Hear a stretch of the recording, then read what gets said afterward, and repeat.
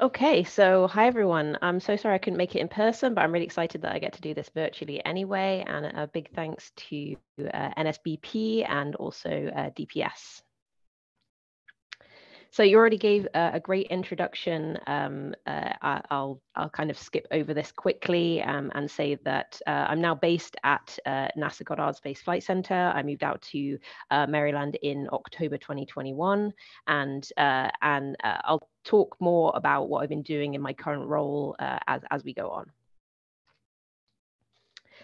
So I'll start right at the beginning. Uh, what is the JWST? Uh, so it's uh, the largest and most powerful telescope we've ever sent to space. Uh, it has a 6.5 meter primary mirror made of 18 separate gold plated movable segments, uh, four scientific instruments that work uh, in infrared wavelengths, a tennis court sized five layer sun shield to keep it cool. And all of that was stuffed into a rocket and launched into space on Christmas Day of 2021 and then it slowly unfolded itself as it approached its home at the L2 Lagrangian point, uh, 1.5 million kilometers away. Uh, so it's already done so much in just a year of science that it's had so far, and I'm excited to share some of it. Uh, and building it was also an international collaboration between NASA, uh, the European Space Agency, uh, including the UK, where I'm from, and the Canadian Space Agency. So uh, a lot of people say that JWST is the successor to the Hubble Space Telescope, but that would be a kind of disservice to Hubble because uh, when it comes to space telescopes, Hubble is still the most famous example, although JWST is catching up slowly. Uh, Hubble launched in 1990, so it's been around a long time. It's actually um, two months older than me. Um, and in that time, it's been a lot busier than I've been. Uh, it's done over 1.5 million observations and it's produced beautiful images of the solar system, like the ones here. Um, here's some examples. These are examples of planetary images uh, observed from Mars all the way through to Neptune and some moons as well. And the uh, uh, the JWST's mirror has an area more than five times greater than Hubble's, uh, and uh, Hubble and JWST really complement each other and have been working together very effectively over this year, which I'll, I'll demonstrate later. And it's more appropriate to call JWST the successor of Spitzer. So my PhD worked with the Spitzer Space Telescope and it was launched in the same generation of telescopes as Hubble in 2003 and it was decommissioned only recently in January 2020 and it was in an Earth trailing orbit, uh, and it was pretty small. Uh, its mirror is uh, less than a meter across, um, but it's more similar to JWST because of its wavelength range. Um, so, how is the JWST better than both of these uh, older telescopes? How have we improved? Um, so comparing them, um, the major difference is the size. And for telescopes, bigger always means better because we have a larger mirror, which means we have more photon collecting area. Uh, so we can look at dimmer and smaller and uh, colder and more distant objects. And uh, JWST's mirror, um, as I said, has, has an area of more than five times greater than Hubble's and more than 45 times greater than Spitzer's. And my favorite fact is actually that the Spitzer mirror is the same size as the secondary mirror on the JWST. So um, on the diagram of JWST, the secondary mirror is the one on the end of the boom that reflects the light back into the instrument. So that's the same size as the Spitzer primary mirror. And uh, I already said the, the wavelength ranges are slightly different with all three of these observatories. Um, Hubble sees from the UV through uh, to the visible um, through into the near infrared, so about 100 uh, nanometers through to 1.8 microns. Uh, Spitzer saw from the near infrared through to the far infrared, so from 3.6 to 160 microns. And then JWST looks at uh, kind of in the middle at uh, near infrared through to the mid infrared at 0.6 to 28.5 5 microns. Um, so uh, for planetary science, this is useful because we can see through the hazes of the atmosphere and we can see different altitudes and different features. Um, we can see features in the right of this Jupiter image um, that's in the near infrared uh, for JWST um, that are either invisible or more difficult to see in the left visible Hubble image. Um, but both images are useful for looking at different things, so they work very well together. And the JWST wavelengths also overlap with both the Hubble and the Spitzer. So we get like a, a little a filling of a gap. Um, and it also makes it even more relevant for us to um, compare to these two telescopes um, in answering questions brought about by the telescopes. So how does a space telescope like the JWST work? Um, uh, the main job of any telescope is to look at uh, faraway things. And JWST gathers light from these distant objects and focuses it into uh, its multiple instruments that are housed behind its mirror. And those uh, 18 segments um, that are all able to move completely independently, um, it means we can adjust the focus remotely at any time. And once that light's focused into the instruments, um, JWST stores um, that observational data before transmitting it back to Earth, um, and we receive it via the DSN or the, the Deep Space Network. And that's a number of huge dishes locally, located around the world. And when they receive this data, they send it um, through to the Space Telescope Science Institute, which is located near here in Baltimore, uh, and they process and store it um, and distribute it um, to scientists uh, all around the world. Um, so uh, anyone can access a lot of this data. So uh, the four main instruments aboard, they're all housed in that um, integrated science instrument module, the ISIM, um, there's that big box behind the mirror. Uh, and we have uh, the fine guidance sensor or the near infrared imager and slitless spectrograph or the FGS NIRISS. It's kind of um, a two in one instrument. We have uh, the near infrared camera or NIRCam, the near infrared spectrograph or NIRSpec, and the mid infrared instrument MIRI. And uh, you'll notice that um, three of these instruments operate in the near infrared, and uh, MIRI is the only one working at longer wavelengths in the mid infrared. Um, but these instruments provide imaging and spectroscopic capabilities across this whole spectral range. So um, imaging capabilities are kind of easier to understand and, and describe and kind of see what's going on. But what makes the JWST so powerful and exciting for scientists is its spe spectroscopic capabilities. So JWST has six different spectroscopic modes, um, but the main principle behind all of them is um, the usual spectroscopic um, principle. So um, splitting up light into these different wavelengths, uh, measuring how much light there is at each wavelength, and, and that gives us a, a spectrum like the one shown above. So this is a, a, simulated spectrum that shows the kinds of molecules that could be detected using a spectrum in uh, the Eagle Nebula, so a star forming region. And uh, all six of these modes do uh, a similar thing, but all slightly differently and are used for observing different things. So I won't go into detail about all of them because I don't know the details about all of them, but the most exciting spectroscopic mode for solar system scientists is the IFU mode or the integrated um, or integral field unit or integrated field unit.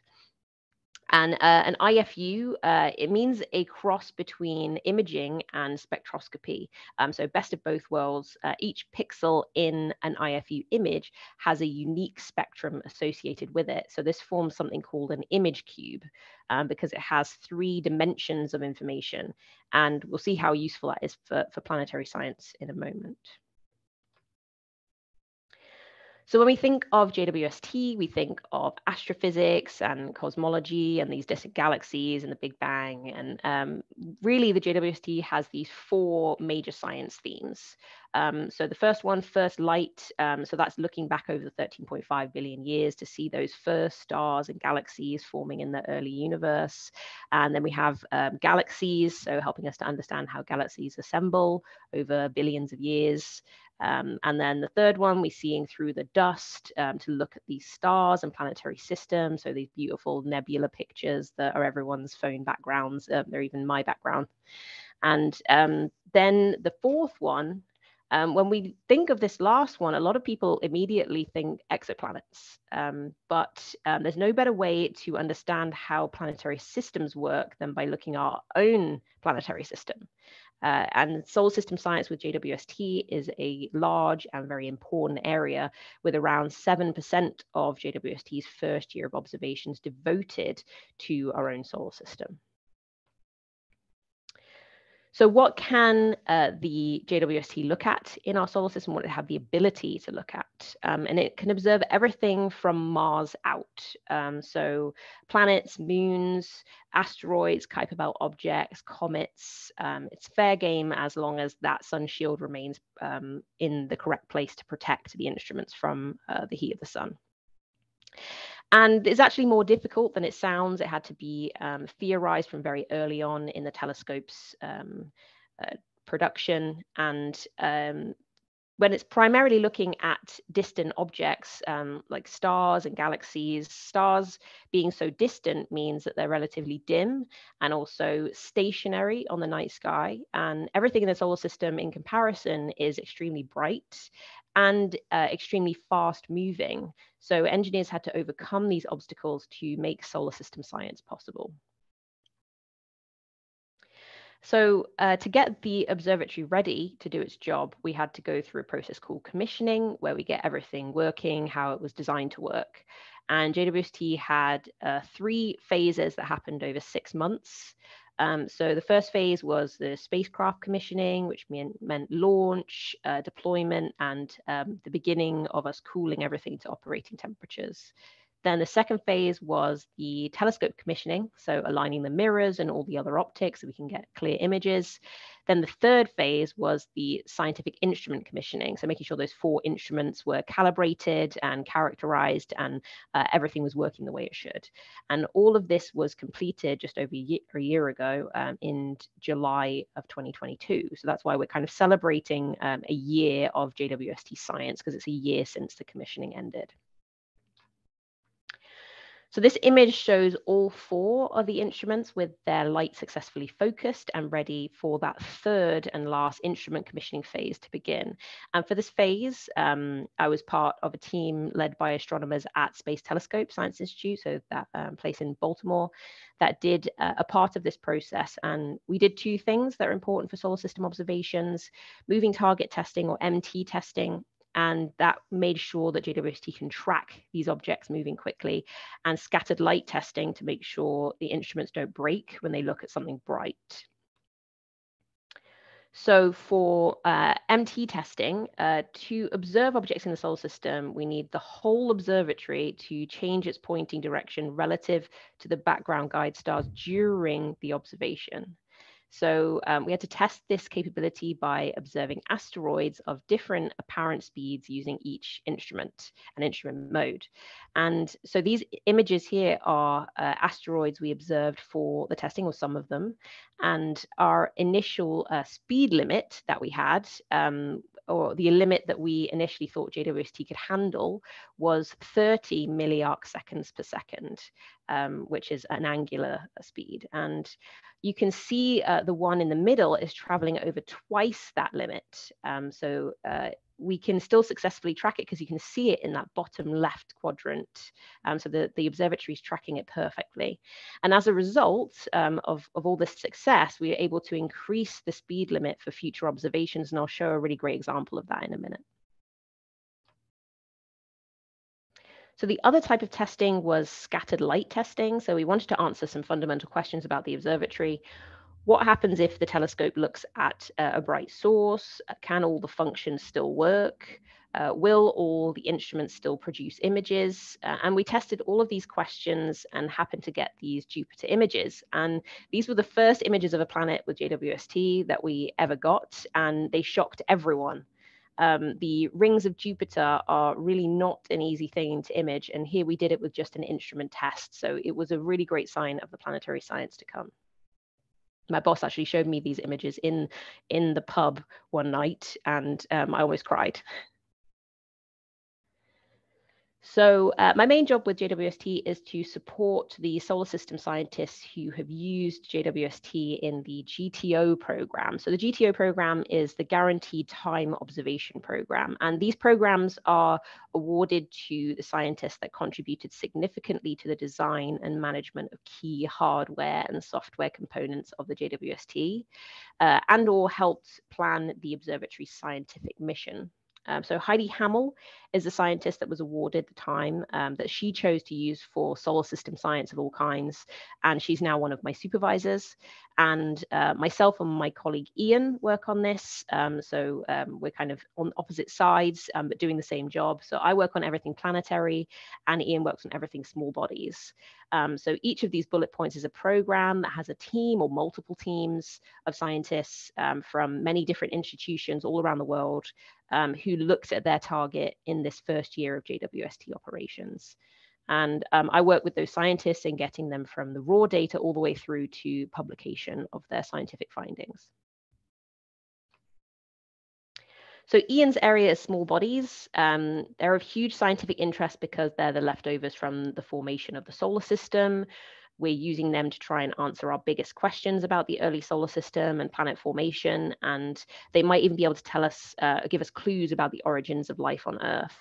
And I'll be going through some of these examples in detail in a minute. And this is my area. We get the best pictures, of course, um, and uh, we can get a better understanding of how different types of planets and their unique systems are formed throughout the universe. We want to know about uh, planet planetary atmospheres. We want to know about clouds. We want to know about surfaces, interiors, weather, composition. We also want to look at their moons uh, and their rings and their smaller satellites and satellite systems to better understand their formation and their evolution. And we're always looking for signs of life anywhere we can, uh, especially on rocky and icy bodies. And that's where spectroscopy really um, comes in handy with these um, uh, objects.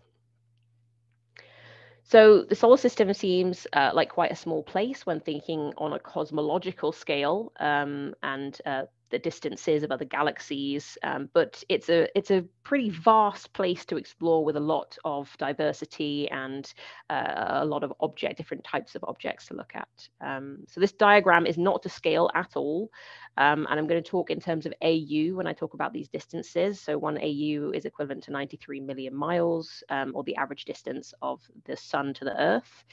And the Kuiper belt, um, for comparison, uh, beyond Neptune is at around 30 to 55 times that distance. Um, so now I'm going to kind of show you what the JWST has been doing this year um, because it's been extremely busy. And I'm going to organize this mostly by distance, so starting close to Earth and going out. So we'll start with um, the closest objects to Earth or near Earth objects, very handily named um, or NEOs. Um, and a, a, small body is considered to be an NEO only when it's at 1.3 AU or closer. And uh, a great example is the asteroid system of Didymos and Dimorphos.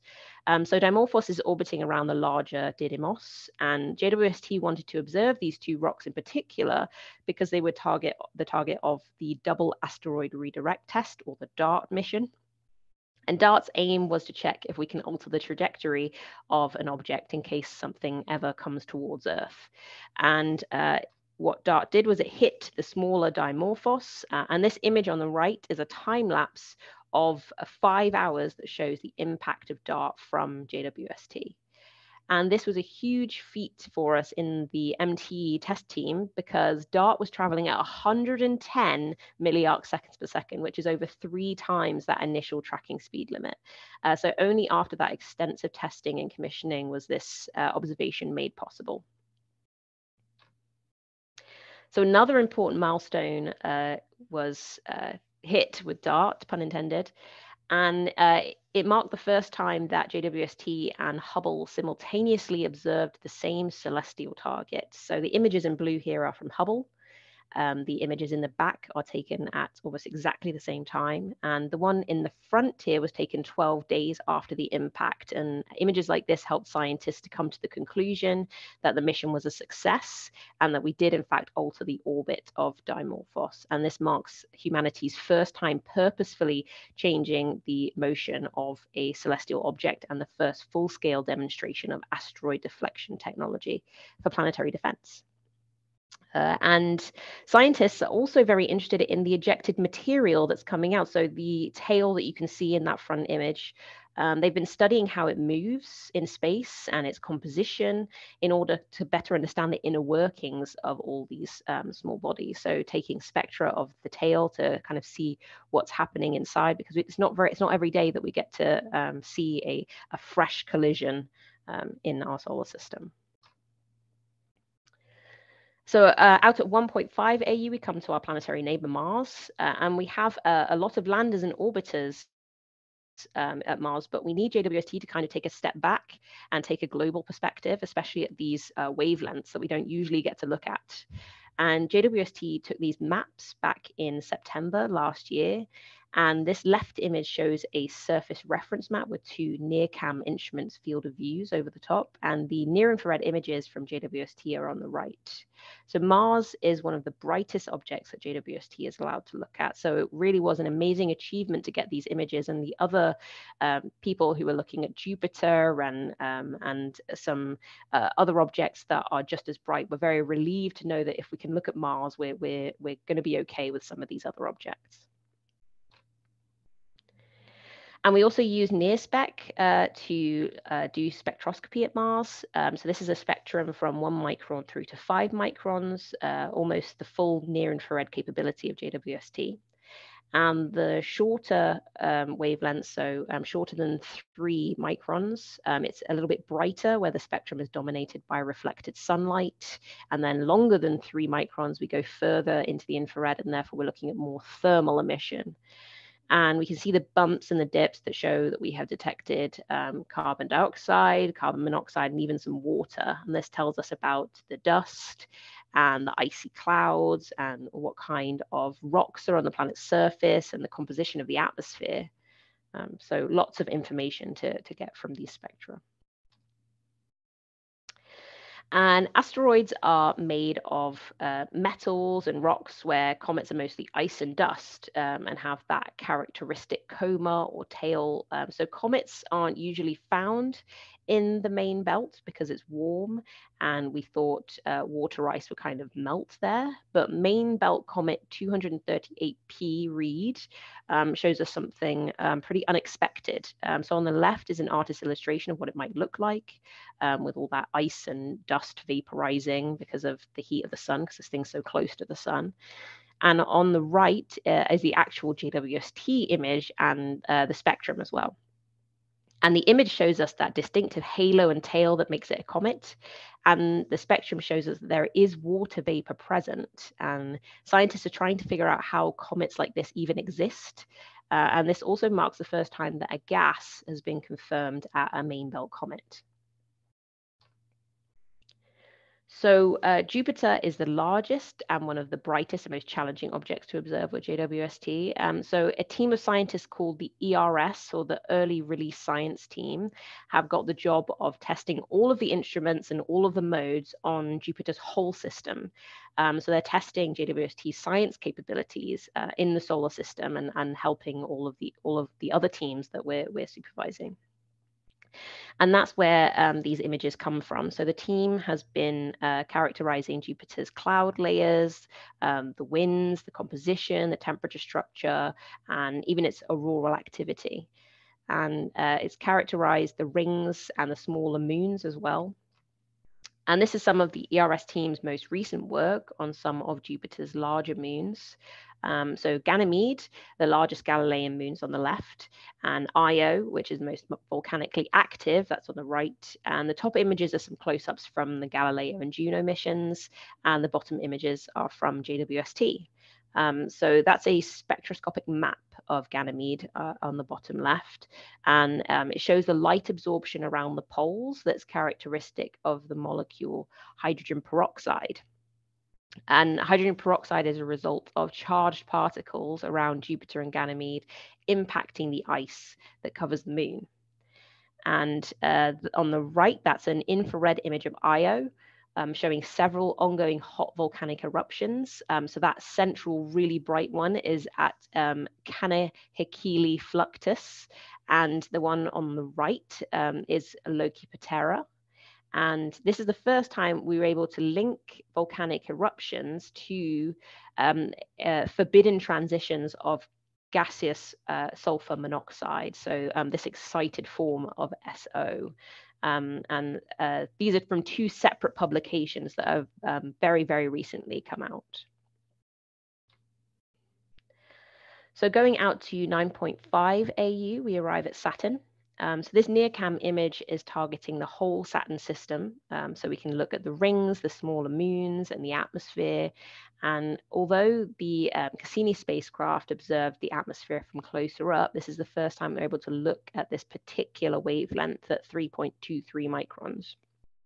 So um, this is unique to JWST, and scientists are still trying to figure out why there's that dark feature at its pole.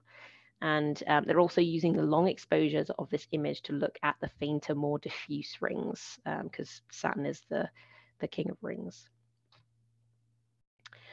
So what about Saturn's largest moon, Titan? Uh, Titan is the only moon in the solar system where there's a, a, dense atmosphere, and it's the only body where there are rivers, lakes, oceans, like on Earth, but they're made of methane instead of water. So Titan had this amazing press release with these two left images from JWST NIRCam on, on the left. It shows one filter highlighting the atmosphere, and the right one shows a, a composite of different filters. Um, so we can see clouds and the albedo changes on the surface and even lakes. Um, Kraken Mare is thought to be a methane sea, and uh, is composed of dark colored sand dunes. Um, so the, the, most exciting thing for um, the scientists that at least I was um, talking to uh, is the clouds. Um, so after seeing these clouds, scientists really wanted to look again to see if they were still there or if they disappeared. So 30 hours later, they used the Keck telescope so this right image is from that observation shows that the clouds are still there, but they've changed in shape a bit. Um, and uh, it's always helpful to get multiple observations at different times, but it's especially helpful when a body is so dynamic and active, um, like Titan um, and the other atmospheres uh, in the solar system, because it's constantly changing. So uh, another one of Saturn's large moons is Enceladus, uh, and we put it in the same group as the Galilean moon uh, Europa as being an ocean world because um, they're cold, um, but we think they have these deep subsurface oceans that may contain life.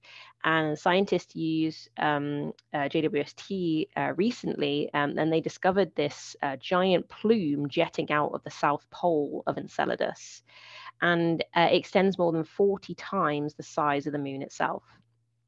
And this animation shows how the plume feeds the moon's torus. And it has been estimated that roughly only 30% of the water stays within this um, water donut around, around the planet. And the other 70% escapes to supply the rest of the Saturnian water, um, like system water. So how do we know it's water? Um, this is where the IFU uh, capability comes in. So we use the NIRSpec IFU and use it to isolate the pixels that have uh, the plume. Um, so it's highlighted here in purple. So when we extract the spectra from just those pixels, we see those obvious water features. And those features are concentrated in the plume and not at the actual moon or in the background torus section. And that's how um, we now suspect a lot more water in the Saturnian system comes from these plumes and uh, leaves this giant torus around the planet.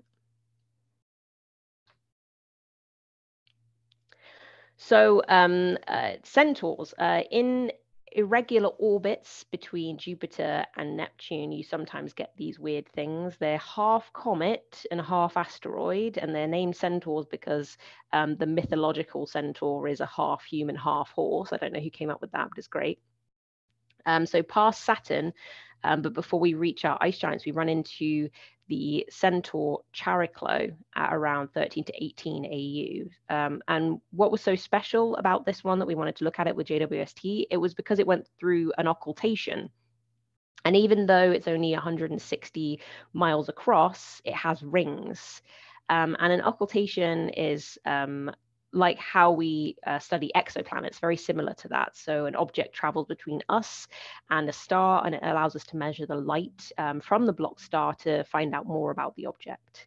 And so the left video shows um, Chariklo moving across that star in the center and the right graphic shows what happened to the star's light. And you can see how close it was. We unfortunately didn't get an actual occultation of Chariklo, but we did get an occultation of its two very distinct rings.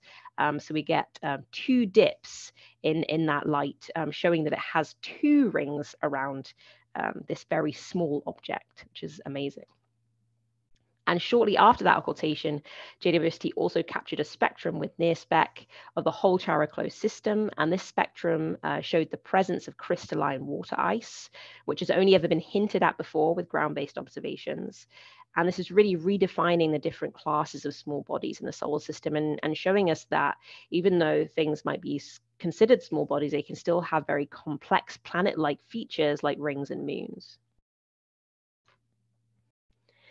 So we've looked at most of these objects now, but of course, uh, my favorites are Uranus and Neptune. So I'm going to spend a little bit more time on them. Um, my thesis used um, a space um, used Spitzer to look at Uranus and Neptune, and uh, I looked at mid-infrared spectra of the planets and used radiative transfer analysis and optimal estimation retrieval to try and figure out what's happening in their atmospheres, so temperatures, chemistry, circulation, vertical profiles. So I'll talk a little bit more about this in a second, but this was all in preparation for JWST before it launched. Um, so why did I pick Uranus and Neptune for my PhD? I could have picked any planet. It wasn't just because they were beautiful, it was because we know very little about them. And uh, in this uh, graphic here, all of the lines that you can see are um, where we've actually sent a mission. And you can see that Uranus and Neptune are extremely lonely because we've only visited them once with Voyager 2 in the late 1980s. Um, and we did a flyby of Uranus in 1986 and one of Neptune in 1989. And that's it. We haven't been back since, but hopefully that will change in the near future. So when JWST finally set sights on them, it was uh, a very, very exciting time. And Uranus is my favorite. Uh, it's out at 20 AU, and it's my favorite because it's the weirdo of the solar system. It's the only planet tilted on its side. It also appears to be much colder than it should, uh, colder than Neptune, even though Neptune's further away from the sun. And this image is a two color composite from February. And it's not actually a GTO program. These images were taken as an outreach only program, so not for science purposes, but just to showcase the capabilities of NIRCam to everyone. And uh, we looked at the planet for a total of just 430 seconds. And it's amazing that we can still see rings, moons, clouds all beautifully clearly. Um, and it's actually it wasn't on purpose that we only looked for 430 seconds. It was actually that the observation mostly failed. Um, and uh, we're still waiting for a secondary observation, but we still had enough to do a press release with all of this, which is really amazing. And there's still a lot that can be done with these images we can actually get hints of the kinds of exciting things to expect in the future. Um, if we zoom into this, we can see blurs in a lot of the places we expect to see the smaller moons. Um, and scientists are already um, starting to delve into this data a bit, a bit more to try and um, look closely at those moons. Um, and they're trying to look in detail at the rings and also trying to observe more uh, distant faint rings as well. And we see a lot of detail in the atmosphere on the right. So the cloud features tell us a lot about circulation, weather, deep chemistry, and uh, the faint polar structure that you can see uh, usually needs a lot of exposure time uh, and processing to see uh, using other telescopes. So it's amazing that we can just see it with um, this failed observation. And if we keep going out uh, to Neptune at 30 AU, so this observation did not fail. Um, this was a success. And this was the first time we pointed JWST at an ice giant. So it was the most exciting day for me uh, in the past year. So you can see Neptune with its amazing rings and its largest moon, Triton. Uh, and the planet being on the background of galaxies, you really get a sense of scale of our solar system compared to the rest of the universe. And I was a subject matter expert for this and the Uranus image um, that I just showed. And as subject matter expert, I worked with a team at Space Telescope to get it ready for public release. Um, so I helped with getting the raw data ready to send to the artists um, where they made these composites. And I also researched and um, presented to the artists and writers what was interesting and new and exciting that they could put in their press release.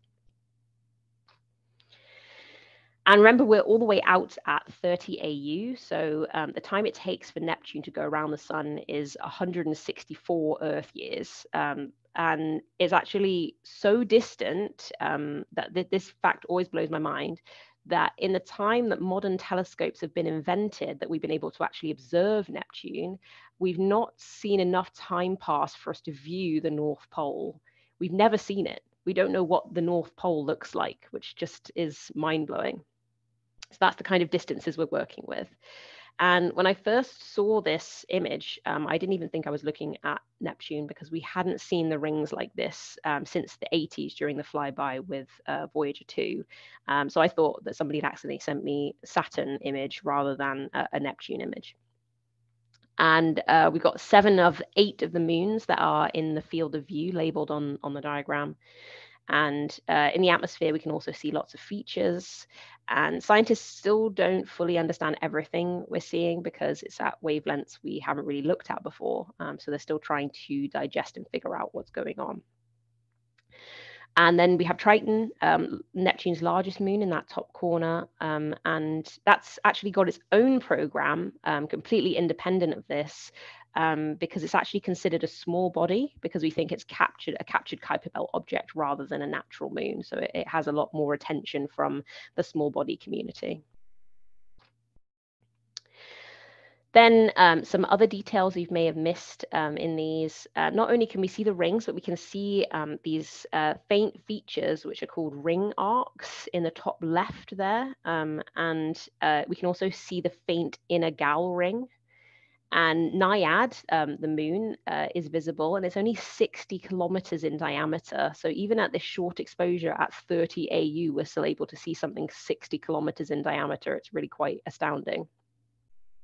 And the right image here, um, they, uh, the two images, they show the atmosphere at two wavelengths. And we can see the brighter areas um, are methane clouds, so reflected sunlight, and the darker areas are looking deeper at methane emission.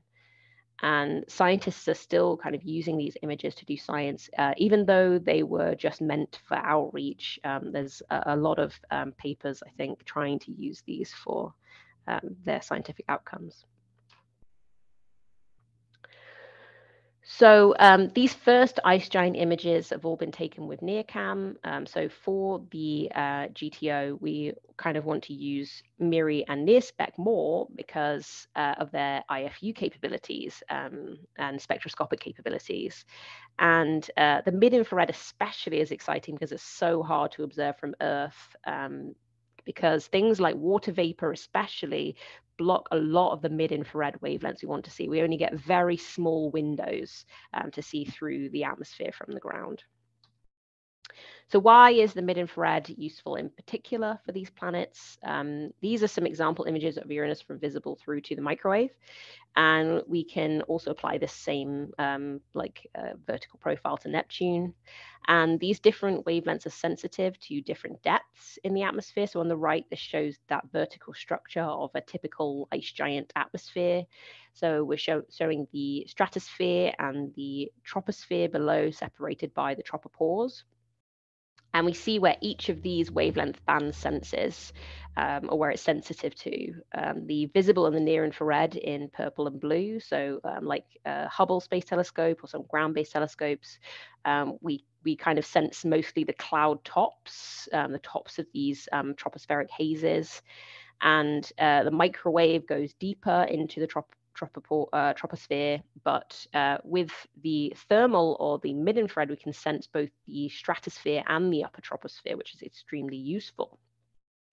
Because these depths are what we call the middle atmosphere. Um, so uh, it's the stratosphere and down to around two bars of pressure in the upper troposphere. Um, so these images um, are Uranus at two different mid-infrared bands from the Very Large Telescope or the VLT uh, VISIR instrument and we see a different structure of the troposphere compared to the stratosphere. Um, the stratosphere contains complex hydrocarbons that we're very interested in. Um, these uh, hydrocarbon hazes dominate stratospheric processes. Um, so when methane is elevated into the stratosphere, it's broken down in, um, into uh, component forms um, by photolysis or photodissociation from the sun and uh, reforms into complex hydrocarbons like acetylene and ethane, um, ethylene, all of these. Um, and observing these species tells us a lot about the chemistry and the vertical processes of the atmosphere. Um, so the mid-infrared was a main motivation for using Spitzer and JWST to look at both of the ice giants. This is some of Spitzer spectra. So Spitzer was used to observe both ice giants between 2004 and 2007 when it was still in its cold phase. Um, and because the mirror is so tiny, uh, we can't get any images, none at all. We're treating um, both planets like point sources, and uh, we just get spectra, um, globally average spectra. Um, so this is an example from 2007 equinox of Uranus and the 2005 uh, of Neptune. And we use these spectra in our um, radiative transfer and retrieval models to find out what the atmosphere is made of, what the temperature is um, at different depths, and how things change, uh, the, the chemistry, etc., how they change at different depths. Um, and that can even give us clues about weather and circulation and uh, deeper chemistry as well. So we used to have to kind of choose between getting information like spectra with Spitzer and images with ground-based telescopes. But with the JWST, we can get both using that IFU technology. So we can really see how that's so powerful, um, especially at these wavelengths. Um, and one of my favorite facts is that because um, each of the spectra, each of the pixels has a spectra, they're actually called spaxels, uh, which is my favorite science word at the moment. Um, so uh, for ice giants especially, getting these image cubes is extremely exciting. And I can't unfortunately show you um, some of these uh, image cubes because they're still um, on their way to publication. Um, but uh, I can show you the models that we generated of them before launch and tell you that it looks extremely similar to this. Um, like I thought I was looking at a model when I saw the actual results. Um, so uh, the first observations of Uranus actually happened were actually with MIRI and NIRSpec in January. Um, and it allowed us to plan ahead for actual data analysis to make these models. Um, so these are generated synthetic data cubes in the resolution and the wavelength range of the MIRI IFU. Um, so the uh, image is part of a, an example data cube, and then each pixel in the image is a uh, has a spectrum which is a similar resolution to the snippet that's above, and the resolution is actually a lot greater than the resolution of Spitzer. The highest resolution, spectral resolution of Spitzer was 600s, um, whereas um, the, the lowest resolution of JWST is in the thousands. Um, so it's really exciting um, to get such great data uh, and I'm almost finished. Um, so I'm PI of some Hubble time that is looking at both ice giants at around the same time as JWST. So we're using WFC3 UVIS instrument to do similar observations to uh, the Hubble OPAL or Outer Planet Atmospheres Legacy program. And it's exciting because we get these extra wavelengths into the visible band. Um, we get uh, dark spots of both planets. Um, and they're only visible in blue wavelengths. Um, and JWST doesn't have blue wavelengths. Um, so uh, it's really exciting that we can actually see them with um, Hubble and, and, kind of look at the same time and see if there are any there. Uh, also with the IFUs, we get a lot of information, but we sacrifice a little bit of detail so we can get better detail from Hubble in the near infrared to identify smaller cloud features, for example. And the OPAL program has been observing these planets with Hubble since 2014. So we also add a little bit of temporal context when we when we compare things alongside this data set. And uh, there are multiple programs that observed alongside um, JWST for Uranus, actually. Um, other H uh, Hubble observations in the UV, XMM-Newton, and Keck all got to look at the same time. So there's a really exciting data set about to, about to be released.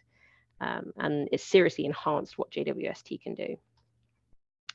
And I didn't want to finish without mentioning Kuiper Belt objects um, because the Kuiper Belt extends um, pretty far uh, out to 55 AU, and um, these KBOs are much colder and further away than asteroids and comets. Uh, so this makes them harder to observe, um, but it also makes JWST's capabilities the most advantageous for them. Um, so a lot of JWST time was devoted to Kuiper Belt objects, and I've lost count now because over 80 different Kuiper Belt objects have been observed in cycle one, and this has allowed scientists to start classifying them in new ways and gain more information about their colors, sizes, compositions, and none of that was doable before JWST. So everything I just spoke about was in cycle one of JWST time, and cycle two technically started the beginning of July and goes until the same time next year. And a lot is planned in the solar system. Um, so a, a, lot more small bodies uh, are going to be observed because there are so many, countless numbers. And Jupiter's upper atmosphere and aurora are going to be looked at uh, more closely.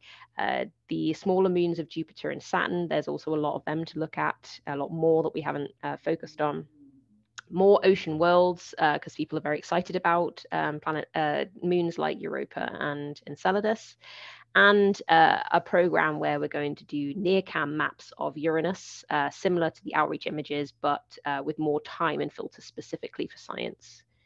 And scientists are already writing proposals um, for cycle three. Um, so they have to write their plans and their justifications to use the telescope. And then a science panel then decides later this year who has the best ideas. And those are chosen as the next observations. So it's a stressful time for science scientists right now, but it's also exciting